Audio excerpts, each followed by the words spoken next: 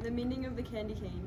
Many years ago, a candy maker wanted to make a candy that symbolized the true meaning of Christmas, Jesus. The candy was shaped like a J to represent Jesus' name. The color white stands for the pureness of Jesus. The color red represents the blood Jesus shed for us. Hello, my name is Hunter Cantwell, and I am going to help you with your candy cane project.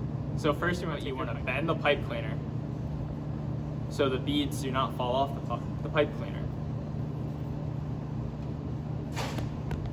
Between the red beads and the white beads until you get all the way to the top.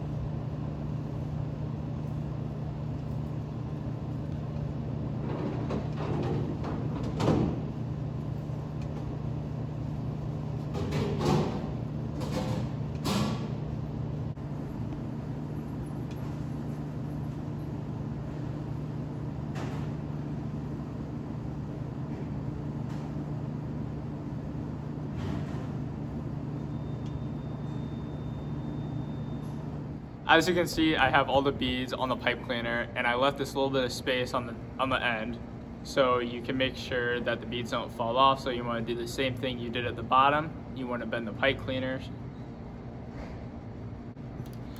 just like that and then you bend your pipe cleaner and now you have a little candy can. So you want to put the put the strand through the the hole in the paper and your teacher will help you with this but you want to tie the the rope around the the candy cane and make sure it's secure.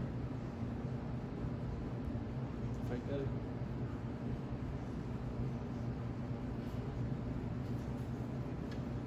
And then you have your very own candy cane.